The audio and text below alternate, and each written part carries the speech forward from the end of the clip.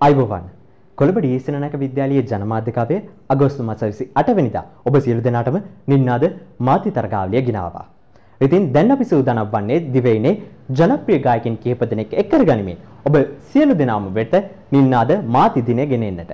පාසල් 200කට අධික සහ තරගකරුවන් 1100කට අධික ප්‍රමාණයක් ඇසුරින් නින්නාද මාධ්‍ය තරගාවලියේ ඒ ඒ තරග අංශවල හොඳම තරගකරුවන් තිදෙනා සහ නින්නාද මාධ්‍ය දින තරගාවලියේ සමස්ත ප්‍රතිඵලය කාට හිමි වේදයි කියා දැන ගැනීමට අපිත් එක්ක එකතු වන්න සැප්තැම්බර් මාස 26 වෙනිදා සවස් 6 සිට ඔබගේ ඒකාකාරී ජීවිතය වෙනුවට ඊටම වෙනස්ම ආකාරයක සන්ධ්‍යාවක් ගත කරන්නට.